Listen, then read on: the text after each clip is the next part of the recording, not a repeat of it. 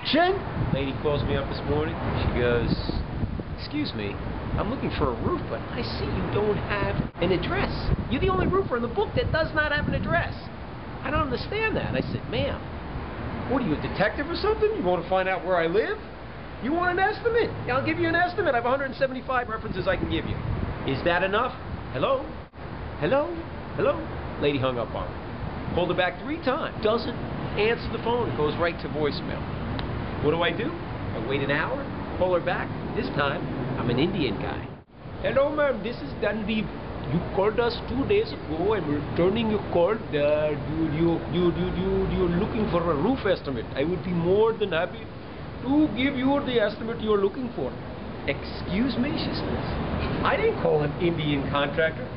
What do you mean an Indian contractor? There's nothing wrong with an Indian contractor.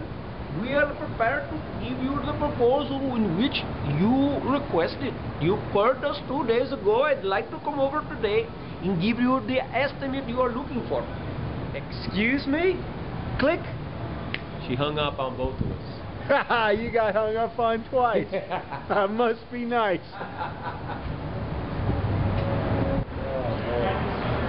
Bye, folks. Hope you enjoyed the show. See you next time.